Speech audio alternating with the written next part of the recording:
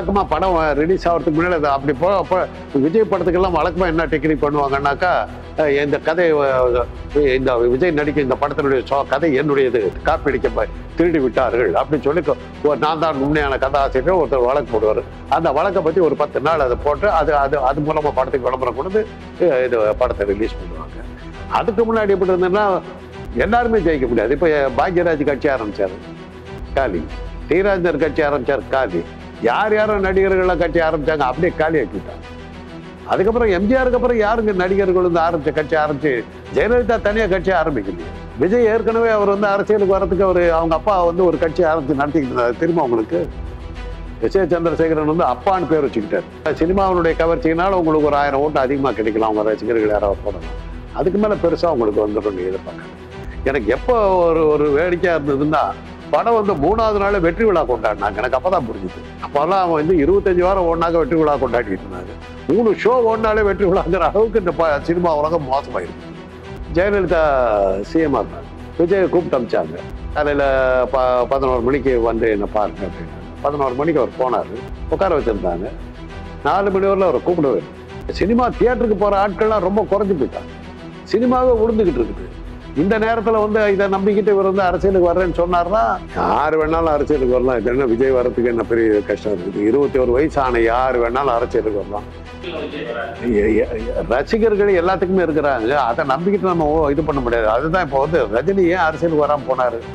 பாபா படத்துக்கு அந்த பிரச்சனை வந்தபோது பாட்டாளி மக்கள் கட்சி வந்து பெரிய ரகலை பண்ணிட்டாங்க. அது என்னன்னா தமிழ்நாட்டை பற்றியும் ஆந்திராவை பற்றி ஒரு அபிப்பிராயம் என்னன்னாக்கா நடிகர்கள் நடிகைகள் வந்தாக்கா உடனே ஓட் பண்ணி ஜெயிச்சுருவாங்கன்னு. இதை வச்சுக்கிட்டு என்ன பண்ணிட்டாங்கன்னா இன்னைக்கு இருக்கிற இந்த பாஜகவுக்கு யாரை போய் சொல்லிட்டாங்க. தமிழ்நாட்டிலையும் ஆந்திராவிலையும் நடிகர்கள் நடிகைகள்னாக்கா தேர்தலில் ஜெயிச்சிடலான்னு தான் பல்லு போன கிழவி இந்த நமிதா மாதிரி ஆட்களை எல்லாம் யார் வேணாலும் அரசியலுக்கு வரலாம். இது என்ன விஜய் வரத்துக்கு என்ன பெரிய கஷ்டம் இருக்குது? இருபத்தி ஒரு வயசு ஆன யார் வேணாலும் அரசியலுக்கு வரலாம். இருபத்தஞ்சு வயசு ஆனாக்கா எந்த பதவியில் வேணாலும் இருக்கலாம். அவ்வளோதான் அரசியலில் வந்து வர்ற பதவிகளுக்கு உச்ச வயது உச்ச வரம்பு கிடையாது. நூறு வயசில் கூட பதவிக்கு வரலாம். ஆனால் அடி கீழே ஆரம்ப வயசு வந்து இருபத்தஞ்சு வயசுக்கு கீழே வந்து நீங்கள் அரசாங்க இந்த இது நாடாளுமன்ற உறுப்பினராகவோ இதாவெல்லாம் வர முடியாது. இருபத்தஞ்சு வயசு ஆயிருக்கணும். ஓட்டு போடுறதுக்கு இருபத்தோரு வயசு. ஓட்டு போடுறதுக்கு வந்து இருபத்தஞ்சு வயசாக இருக்கணும் விஜய்க்கு இருபத்தஞ்சி வயசாக இருக்குது அதனால் நிச்சயமாக அவர் எலெக்ஷனில் நிற்கலாம் நின்று ஜெயிக்கலாம் எல்லாம் பண்ணலாம். அரசியல் கட்சி ஆரம்பிக்கலாம். யார் வேணாங்கிறா? அது அவர் தலையெழுத்து எப்படி இருக்குதோ அதுதான் இருக்கணும். அது என்னன்னா தமிழ்நாட்டை பற்றியும் ஆந்திராவை பற்றி ஒரு அபிப்பிராயம் என்னன்னாக்கா நடிகர்கள் நடிகைகள் வந்தாக்கா உடனே ஓட் பண்ணி ஜெயிக்க வச்சுருவாங்கன்னு. நம்ம தமிழ்நாட்டை பொறுத்தவரை நமக்கு ரெண்டு ரெக்கார்டு இருக்குது. எம்ஜிஆர் ஜெயலலிதா. எம்ஜிஆருடைய நிழலில் வந்ததுனால தான் ஜெயலலிதா வந்தாங்க. ஜெயலலிதா தனியாக எலெக்ஷன் இருந்தால் காலி ஆயிட்டு இருப்பாங்க. எம்ஜிஆருடைய இது நடிகைங்கிறதுனால தான் பெண் நம்முடைய பெண்கள்லாம் சேர்ந்து அந்த மாதிரி ஓட்டு போட்டாங்களே ஒழிய வேற காரணங்களால் அவங்க வரல. ஆந்திராவை பொறுத்தவரை என் டி ராமராவை தவிர அதுக்கப்புறம் எந்த நடிகரும் நாங்கள் வந்து பா பாப்புலராக வரல. இது ரெண்டு ஐயா இதை வச்சுக்கிட்டு என்ன பண்ணிட்டாங்கன்னா இன்றைக்கி இருக்கிற இந்த பாஜகவுக்கு யாரோ போய் சொல்லிட்டாங்க. தமிழ்நாட்டிலையும் ஆந்திராவிலையும் நடிகர்கள் நடிகைகள்னாக்கா தேர்தலில் ஜெயிச்சிடலான்னு தான் பல்லு போன கிழவி இந்த நமிதா மாதிரி ஆட்களை எல்லாம் கட்சியில் சேர்த்து இப்போ யாரெல்லாம் ரிட்டையர் ஆகி வீட்டில் உட்காந்துட்டு அத்தனையும் கொண்டு போய் க- பாஜகவில் சேர்த்துக்கிட்டாங்க. ஏன்னா சினிமா கவர்ச்சி உண்டாக்குறாங்களாம். இப்படி இன்னைக்கு சினிமா கவர்ச்சி போயிடுச்சு. சினிமாவே இன்னைக்கு இல்லை. சினிமாவே இன்னைக்கு என்ன ஓ முதல்ல ஒரு சினிமா படம் ரிலீஸ் ஆகுதுன்னாக்கா கட் அவுட் வச்சு ஒரு வாரத்துக்கு முன்னாடி அட்வான்ஸ் புக்கிங் அட்வான்ஸ் புக்கிங் நடக்குகிறது ரிசர்வேஷன் நடக்கிறது அப்படிம்பாங்க. ரிசர்வேஷன்லேயே இத்தனை ஆயிரம் ரூபா வந்துருச்சு அப்படின்லாம் போடுவாங்க. அதெல்லாம் இருந்தது ஒரு காலத்தில். இன்னைக்கு ரிசர்வேஷன் எங்கே நடக்குது? ஆன்லைனில் டிக்கெட் வாங்கிட்டு போகிறாங்க பார்க்குறாங்க தேட்ரு எத்தனை தேட்ரு ரொம்ப வழியுது? மல்டிப்ளெக்ஸ் தியேட்டர்ஸில் தான் ஏதோ கொஞ்சம் படம் பார்க்குறாங்க. ம ரெண்டாவது இன்றைக்கி மல்டிப்ளெக்ஸ் தேட்டருக்கெல்லாம் போனாக்கா ஆகிற செலவு கட்டுப்படி ஆகுது. ஒரு காஃபி இரநூறுவாங்கிறாங்க டிக்கெட் ஆயிரரூவாங்கிறாங்க எப்படி போகிறது மத்திய தர குடும்பங்கள் இன்றைக்கி சினிமாவுக்கு போகிறதே நிறுத்திட்டாங்க. எல்லாருமே ஓடிடியில் பார்த்துட்றாங்க நெட்ஃப்ளிக்ஸில் பார்த்துட்றாங்க தியேட்டருக்கு போக வேண்டிய அவசியமே இல்லை. அந்த மாதிரி ஆகிடுது ஒரு நூறுரூவா கொடுத்துட்டோம்னா வீட்டில் டிவியில் வரும்போது வீட்டில் இருக்கிற அத்தனை பேர் சேர்ந்து பார்த்துட்றாங்க அதனால் சினிமா தியேட்டருக்கு போகிற ஆட்கள்லாம் ரொம்ப குறைஞ்சி போயிட்டாங்க. சினிமாவே உழுந்துக்கிட்டு இருக்குது. இந்த நேரத்தில் வந்து இதை நம்பிக்கிட்டு இவர் வந்து அரசியலுக்கு வர்றேன்னு சொன்னார்னா அவருடைய அதிர்ஷ்டத்தை தான் பார்க்கணும். அவருக்கு அரசியல் இருந்ததுன்னா வரத்தான் செய்வார்.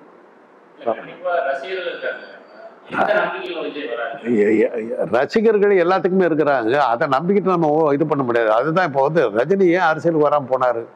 பாபா படத்துக்கு அந்த பிரச்சனை வந்தபோது பாட்டாளி மக்கள் கட்சி வந்து பெரிய ரகலை பண்ணிட்டாங்க. போலீஸ் பாதுகாப்போட பாபா படம் ரிலீஸ் ஆச்சு. போலீஸ் பாதுகாப்போட படம் ரிலீஸ் ஆனோடனே மக்கள்லாம் பயந்துட்டாங்க. இது உள்ள தேட்டருக்குள்ள போனால் அடித்தடி நடந்தால் என்ன பண்ணுறதுன்னு பார்த்துட்டு யாருமே போக மாட்டாங்க. படம் காலி. அப்போ ரஜினி என்ன நினைச்சாருன்னா நம்மளுடைய ரசிகர்கள் வந்து நம்ம படத்தை காப்பாற்றி ஓட்ட வச்சிருவாங்கன்னு பார்த்தா ரசிகர்களும் இல்லை. அப்பதான் அவருக்கு புரிஞ்சுது. இந்த ரசிகர்களை என்ன பண்ணோம்னா நம்ம காலிங்கிறது புரிஞ்சுது.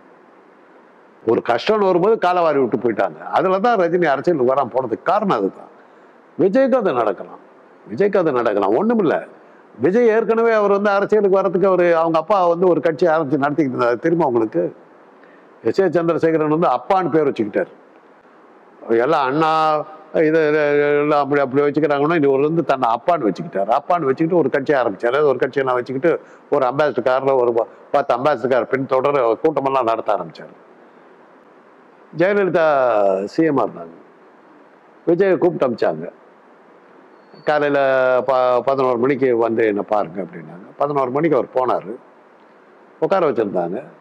நாலு மணி வரல அவரை கூப்பிடவே இல்லை. பார்க்காம அமிச்சிட்டாங்க அப்போவே ஒரு விஜய்க்கு புரிஞ்சு போச்சு. அம்மா நம்ம அரசியலுக்கு வர்றதை விரும்பலை. உடனே அவங்க அப்பாவை கூப்பிட்டாரு. கட்சியெல்லாம் கலைனாரு கலைச்சிட்டாரு எல்லாம் முடிஞ்சு போச்சு. அதோட அரசியல் முடிஞ்சு போச்சு. அதுதான் விஜய்க்கு ஏற்பட்ட ஒரு அனுபவம். அந்த அனுபவத்தை எல்லாம் மைண்டில் வச்சுக்கிட்டு அவர் வந்து அரசியலுக்கு வர்றதை பற்றி யோசிக்கணும். நாம உங்களுக்கு நேரம் நல்லா இருந்தால் வெற்றி. அரசியல்லையும் சரி சினிமாவிலையும் சரி திறமை மாத்திரமே பத்தாது. அதிர்ஷ்டம் ஒன்று இருக்கணும். பகுத்தருக்கு அப்பாற்பட்டு பேசுகிறேன்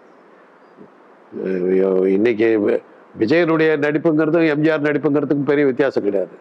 இன்னைக்கு அவங்க ரெண்டு பேரும் சக்ஸஸ்ஃபுல்லாக இருக்கிறாங்க. விஜயோட கம்பேர் பண்ணாக்க மற்ற நடிகர்களை ஒரு தூக்கி அடிக்கிற மாதிரி நடிகர்களாக இருக்காங்க. ஆனால் விஜய் சக்ஸஸ்ஃபுல்லாக இருக்கார். நம்ம ஊரே அப்படித்தான். அதை நம்பிக்கிட்டு அவர் அரசியலுக்கு போறாருன்னா அது அதிர்ஷ்டம் இருந்ததுன்னா அதுலேயும் ஜெயிக்கலாம். எல்லாருமே ஜெயிக்க முடியாது. இப்போ பாக்யராஜ் கட்சி ஆரம்பிச்சாரு. காலி. டி ராஜேந்தர் கட்சி ஆரம்பிச்சார். காலி.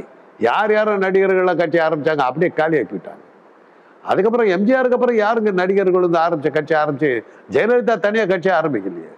எம்ஜிஆருடைய நிழலில் இருந்துக்கிறவங்க தான் நாங்கள் அதுக்கப்புறம் அவங்களே காலி ஆகிட்டாங்க அவங்களே தோக்கடிச்சாங்க. அப்புறம் வந்து ஏதோ கொஞ்சம் அது இதுன்னு பண்ணி கொஞ்சம் சமாளித்து தப்பிச்சாங்க. அதுக்கப்புறம் ஆந்திராவில் எந்த சினிமா நடிகனும் அதுக்கப்புறம் ஆந்திராவில் இல்லையே. நடிகர்கள் வந்து அதுக்கப்புறம் அரசியலில் பெருசாக இல்லை. இன்னைக்கு சினிமாவே இல்லைங்கும் போது இவங்க அரசியல் சினிமாவை நம்பிக்கிட்டு அரசியலுக்கு வந்தாங்கன்னா எப்படின்னு எனக்கு புரியலை. பார்க்கணும். அவருடைய அதிர்ஷ்டம் எப்படி இருக்குது பார்க்கணும். உள்ளே வாங்க.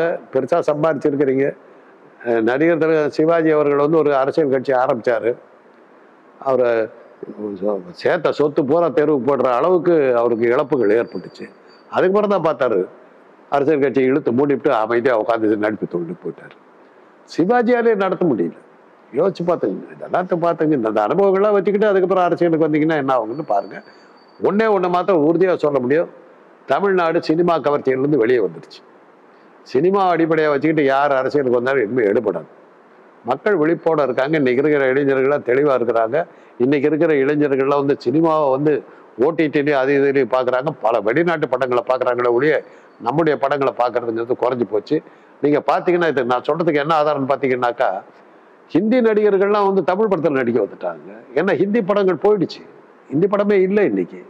ஒரே ஒரு ரெண்டே மொழி படங்கள் தான் வந்துக்கிட்டு இருக்குது. தெலுங்கு படமும் தமிழ் படமும் தான் வந்துக்கிட்டு இருக்குது. மற்ற எல்லா மொழி ப- மொழிகள்லையும் சினிமா இல்லை இப்போ. ஹாலிவுட்டெல்லாம் நிறுத்திட்டாங்க. ஆஸ்கார் அவார்டெல்லாம் இன்னைக்கு பெருசாக பேசப்படவே இல்லை. கூட சமீபத்தில் ஒரு சினிமா நிகழ்ச்சி ஒரு வெளிநாட்டு ஒரு அரபு நாடுகளில் ஒரு சினிமா நிகழ்ச்சி வழக்கமாக அது பெரிய ஃபேன் ஃபேரோட நடக்கும் விருது வழங்கு இது நடந்தது. யார் வந்தால் அதில் கமலஹாசன் மணிரத்னா யோகி பாபு மூணு பேர் தான் இருந்தாங்க. மற்ற எந்த நடிகரும் எட்டு கூட பார்க்கல. அதுக்கு முன்னாடி இந்த துபாயில் நடக்கிற ஃபங்க்ஷன்னா அத்தனை த தென்னிந்திய நடிகர்களும் உள்ள உட்காந்துருப்பாங்க அந்த இந்த இப்போ நடந்த விழாவுக்கு மூணே பேர் இவங்க மூணு பேர் தான் இருந்தாங்க. யாருமே இல்லை. அப்புறம் நடனம் ஆடுற அந்த சில நடிகைகள் அந்த அதில் பங்கெடுத்துக்கிட்டாங்க. மற்றபடி யாருமே இல்லை. அதுக்கு என்ன அர்த்தம்? சினிமாவுடைய செல்வாக்கு போயிட்டு இருக்குதுன்னு அர்த்தம். அந்த விழாக்களுக்கு போகிறதுக்கு கூட ஆளுங்க இல்லை. அந்த அளவுக்கு அது சினிமா உழுந்துகிட்டு இருக்குது இப்போ போய் வந்து அரசியல் இதை நம்பிக்கிட்டு விஜய் அரசியலுக்கு வர்றாருன்னா அவர் யோசிக்கணும். நமக்கு தெரிஞ்சதை சொல்கிறோம் அவருடைய அதிர்ஷ்டம் இருக்குதுன்னு பார்க்கணும்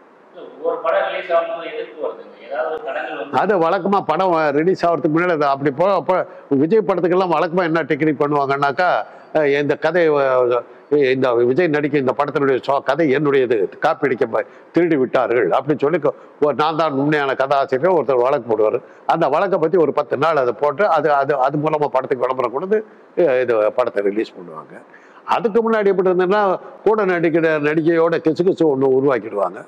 உருவாக்கிட்டு அந்த படம் ரிலீஸ் ஆகும்போது அந்த கிசுகிசு உண்மையான்னு பார்க்கறதுக்கு போய் ஜனங்க பார்ப்பாங்க. அப்படியெல்லாம் படங்களை ஓட வைக்கிறது. விஜய் வந்து பண்ணுறது பூராமே வந்து கதை இந்த கதை என்னுடைய இதுன்னு காப்பி அடிக்கப்பட்டதுன்னு சொல்லி கேஸ் போட்டு அதுதான் நடந்துட்டு இந்த தடவை கொஞ்சம் வித்தியாசமாக ட்ரை பண்ணியிருக்காரு இந்த படத்துக்கு. ஏதோ ஏதோ ஒரு ரெண்டு நாள் நல்லா ஓடிச்சு போட்டிருக்கு. எனக்கு எப்போ ஒரு ஒரு வேடிக்கையாக இருந்ததுன்னா படம் வந்து மூணாவது நாள் வெற்றி விழா கொண்டாடினாங்க. எனக்கு அப்போ தான் புரிஞ்சுது. அப்போல்லாம் வந்து இருபத்தஞ்சி வாரம் ஒன்றாக வெற்றி விழா கொண்டாடிட்டு இருந்தாங்க. மூணு ஷோ ஓடினாலே வெற்றி விழாங்கிற அளவுக்கு இந்த ப- சினிமா உலகம் மோசமாக இருக்குது மூணு ஷோ ஓடுறதே வெற்றி விழா கொண்டாடுற அளவுக்கு போயிடுச்சு. மூணு ஷோ கூட ஓட முடியாத அளவில் தான் சினிமா இன்னைக்கு இருக்குது. அதானே உண்மை.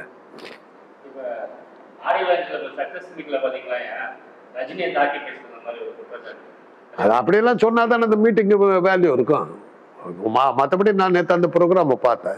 அவர் ஒன்றும் எதுவும் பேசுற மாதிரி தெரியலையே. சூப்பர் ஸ்டார்னா ரஜினிகாந்தான்னாரு யா நீங்களா கற்பனை பண்ணிக்கிட்டு அதை அதை ஏற்றி ஓட்டுறதுக்கு எதாவது பண்ணிக்கிட்டாங்க? அவர் என்ன அவர் அவருக்கே தெரியாத விஷயத்த சொல்லிட்டு என்ன அர்த்தம்? எங்க ரஜினிகாந்த் அவருங்க என்னத்த தாக்கி பேசுனாரு? சூப்பர் ஸ்டார் தான் அவர் தான் உலக நாயகன்னா அதான் அப்படின்னு இருந்தார் அப்புறம் கேட்ட கேள்விகளுக்கெல்லாம் ம மழுப்பலாக தான் பதில் சொல்லிட்டு இருந்தார்.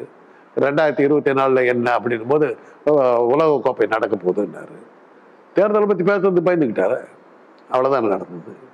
என்னத்த பே என்ன என்ன என்ன அரசியல் பேசிட்டாரு அதில் அந்த கூட்டத்தில்? நீங்களா கற்பனை பண்ணிக்கிட்டு நீங்களா ஏற்றி விட பார்க்குறீங்க ஆமாம் கப்பு முக்கியம்னாக்கா என்ன அர்த்தம்? உலக கோப்பை ஃபுட்பால் கப்புன்றாரு நேரடியாக அரசியலுக்கு வர பேச வேண்டியது தானே தான் உங்களுக்கு முடிஞ்சு போ- ரசிகர்கள் தான் நீங்கள் தான் சொல்கிறீங்களா அவர் அரசியலுக்கு வர துணிந்து விட்டார். ரெண்டாயிரத்தி இருபத்தி ஆறில் பார்ப்போம். அரசியலுக்கு வருவதாக இருந்தால் வருவேன். ரஜினிகாந்த் அப்படிதானுங்களே சொன்னார். வருவனா வர மாட்டேனாங்கிறத நான் வந்தால் லேட்டஸ்ட்டாக வருவேன்னு சொன்னார். வரனா வரலையாங்கிறத நான் இன்னும் முடிவு எடுக்கல. வரதா இருந்தால் லேட்டஸ்ட்டாக வருவேன் அப்படின்னாரு. கடைசி வரலும் வர்றேன்னு அவர் சொல்லவே இல்லை. அதே மாதிரி தான் இன்னைக்கு வரலும் நேற்று அந்த நேற்று கூட அந்த அந்த விழாவை பார்த்தேன் அதில் வந்து அரசியல் சம்மந்தமாக அவர் பேசுற மாதிரி இல்லை. நீங்களா மீடியாக்கள் தான் அந்த மாதிரிலாம் பேசியிருப்பார் பேசியிருப்பார்னு சொல்லி அவர் ஊசி போட்டு அவர் தூக்கி விட்டுறதுக்கு பார்க்குறீங்க. இந்த படமே இன்னைக்கு நான் கேள்விப்பட்ட அளவில் பெருசாக போகலங்கிறாங்க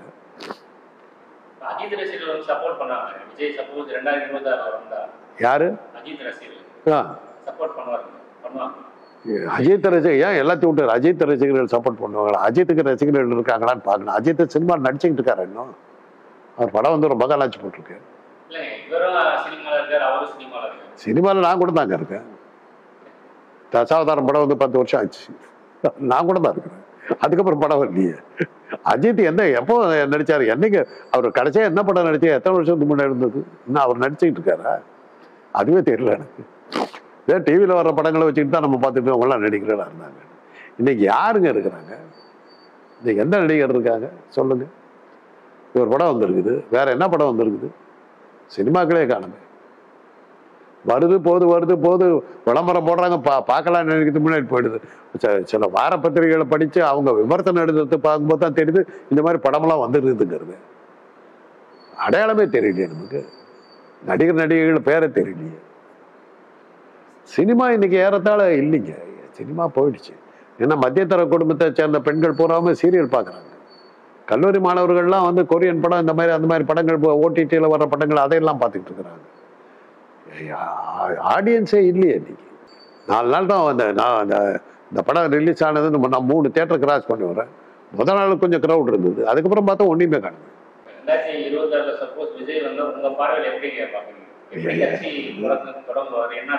முதல்ல ஒரு கட்சி தொடங்கட்டும். கட்சி தொடங்கி அமைப்பாளர்கள்லாம் உருவாக்கட்டும். அதுக்கப்புறம் யார் கூட கூட்டணி இல்லை தனியாகவே நிற்பேன் அதெல்லாம் சொல்லட்டும். அதுக்கப்புறம் அவர் அரசியலை பற்றி பேசுவோம்.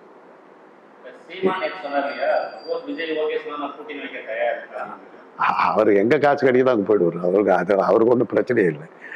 வருமானம் தானே அவரை பொறுத்தவரை அவர் அவர் வியாபாரமா பண்ணிட்டு இருக்காரு. அரசியலில் நல்லா வியாபாரம் பண்ணுறது அவர் தான் பல கோடி சம்பாரிச்சுட்டா இருக்கிறாங்க அப்புறம் விஜய் வராருன்னு விடுவாரா ஏன்னா அவரை வச்சு படம் எடுக்கிறதுக்கு ட்ரை பண்ணி பார்ப்பார் போட்டுக்கு க கிடச்சிருக்க மாட்டார். அட்லீஸ்ட் கூட்டணியாவது வச்சுக்கலாம் ட்ரை பண்ணுறாரு போட்டு தெரியாது. நீங்கெல்லாம் தான் போடணும் இப்போ நீங்கள் கேட்குறத பார்த்தா நீங்கள் ஓட்டு போடுவீங்கன்னு தெரியுது. ஒரு ஓட்டு கன்ஃபார்மாக தெரியுது நீங்கள் போடுவீங்கன்னு தெரியுது. சினிமா நடிகர்கள் இனிமேல் அரசியல் கனவுகளோடு இருக்காதீங்க. தமிழ்நாடு சினிமா கவர்ச்சியிலேருந்து வெளியே வந்துருச்சு. இனிமேல் அதை வச்சுக்கிட்டு அரசியல் பண்ணி நம்ம பொழப்பு நடத்தலாம்னு நினச்சிங்கன்னா கொஞ்சம் கஷ்டம். வேறு வகையில் நீங்கள் வந்து பொதுமக்கள் சேவை செய்கிறது அது இது. இன்றைக்கி அரசியலே வந்து வியாபாரம் ஆகிடுச்சு ஒரு முதல்ல போட்டிங்கன்னா இன்றைக்கி ஒரு கோடி ரூபா கொடுத்துட்டு நீங்கள் அரசியல் இது வந்து வெற்றி பெற்றுட்டீங்கன்னா அஞ்சு வருஷத்தில் ஒன்றரை கோடியாக சம்பாதிக்கலாம். அப்படிங்கிற மாதிரி தான் இன்றைக்கி அரசியல் இருக்குது. ஆனால் அந்த மாதிரி பணத்தை ஓடுறதுக்கு தயாராக இருக்கவங்க யார் வேணாலும் வரலாம். அது சினிமா ஆளாக இருக்கணுங்கிற அவசியம் இல்லை. தாராளமாக நீங்கள் நிற்கலாம் சினிமா க சினிமாவினுடைய கவர்ச்சியினால உங்களுக்கு ஒரு ஆயிரம் ஓட்டு அதிகமாக கிடைக்கலாம். உங்கள் ரசிகர்கள் யாராவது போடலாம். அதுக்கு மேலே பெருசாக உங்களுக்கு வந்துடும் எதிர்பார்க்காதீங்க. இருக்கு? வச்சுக்கலாமே. யா எல்லா நடிகர்களும் ஒன்றா சேர்ந்து நிற்கட்டுமே யார் வேணாங்கிற. அத்தனை ரசிகர்களும் அவ அவ்வளோ பேத்துக்கு ஒன் ப்ளஸ் ஒன் டூங்கிறது வந்து அரசியலில் கிடையாதுங்க. அரசியல்லையும் சினிமாலும் ஒன் ப்ளஸ் ஒன் டூங்கிற கணக்கே கிடையாது. ஒன் ப்ளஸ் ஒன் வந்து மைனஸாக கூட போகும். ஒன் ப்ளஸ் ஒன்னெல்லாம் பொருளாதாரத்தில் தான் பேசணும் அரசியலில் வந்து ஒன் ப்ளஸ் ஒன் நானும் நீங்களும் கூட்டணி வைக்கிறோம். நம்ம ரெண்டு பேரும் பொருந்தா கூட்டணின்னு வச்சுங்க. ஒன் ப்ளஸ் ஒன்று தான். மைனஸ் ஆகும்.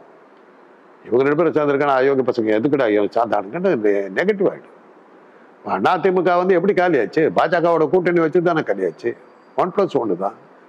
இன்னைக்கு அட்ரஸ் எல்லாம் போச்சு இல்லை. உதயநிதி ஸ்டாலின் வந்து ப பளபளக்கிறாரு. இன்னைக்கு அவரை பார்க்கும்போது எனக்கு ஒரு ஆச்சரியம் உண்டாகுது. அது தாய் எட்டு அடி பாஞ்சா பதா குட்டி பதினாலு அடி பாய்ங்கிறத நான் அதில் பார்க்குறேன் அவர்கிட்ட. சனாதனத்தை பற்றி ஒரு வா ஒரு கமெண்ட் அடித்து அகில இந்திய அளவில் புகழ் வாங்கிட்டாரு.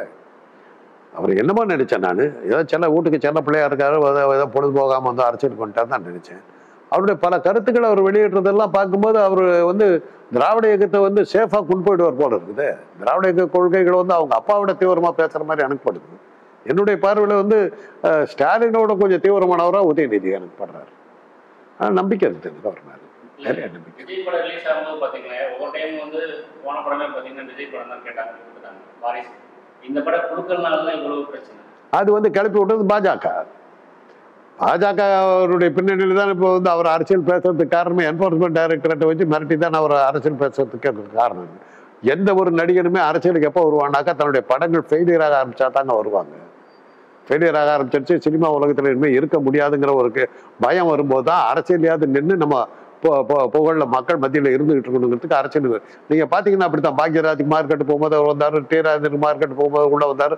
யாரெல்லாம் மார்க்கெட் போகுதோ எம்ஜிஆருக்கு மார்க்கெட் போற மாதிரி இருந்தபோது தான் அரசியல் அவர் வந்து தீவிரமா எடுத்தார். அது மாதிரி மார்க்கெட் இன்னைக்கு விஜய்க்கு இன்னைக்கு மார்க்கெட் இருக்குது. இன்னைக்கு லியோ படம் ஓரளவுக்கு சுமாராக ஓடி இருக்குது. எதிர்பார்த்த அளவுக்கு நீங்கள் சொல்கிற மாதிரி பத்தாயிரம் கோடி பதினஞ்சாயிரம் கோடி ரூபாய் ஒரே நாள் வசூல் அந்த கதையெல்லாம் இனிமேல் விட்டிங்கன்னா எடுபடாது. அது வேற விஷயம். அந்த அளவுக்கு இல்லைன்னாலும் நஷ்டம் வராமல் மினிமம் கேரண்டியில் அது ஓடிடுச்சு. அந்த மாதிரி ஒரு சூழ்நிலை இருக்கும்போது என்னத்துக்கு அரசியலுக்கு வரணும்? அவரை மிரட்டி இருக்காங்க ஏன் உதயநிதிக்கு அவருக்கு மத்தியில் வந்து போட்டி இருக்கிற மாதிரி காட்டி அவரை வந்து ஒரு மிரட்டி மிரட்டி பாஜக அவருடைய ஆதரவை காட்டி கொண்டு போகலாங்கிறது ரெண்டாயிரத்தி இருபத்தி ஆறுக்குள்ளார தமிழ்நாட்டுங்கிற எல்லா நடிகர்களையும் வந்து பாஜக ஒரு ட்ரையல் பார்த்துருங்க. சிவகார்த்திகேயன்லேருந்து எல்லாத்தையுமே ட்ரையல் பார்க்கும். விஜய் சேதுபதி எல்லாத்தையுமே ட்ரையல் பார்க்கும். ஏன்னா அவங்க இன்னும் நம்பிக்கிட்டு இருக்கிறது சினிமா கவர்ச்சிகளை தான் தமிழ்நாடு அரசியல் இருக்குதுன்னு அவங்க நம்பிக்கிட்டு இருக்காங்க.